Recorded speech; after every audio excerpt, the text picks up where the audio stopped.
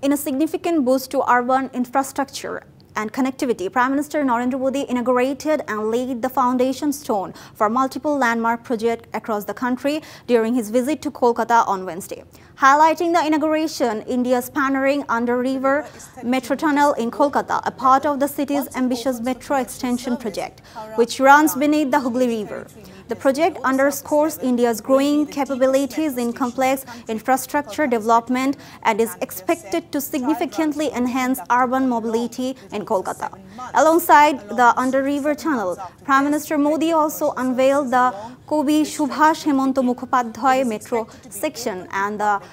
Taratala হাট metro section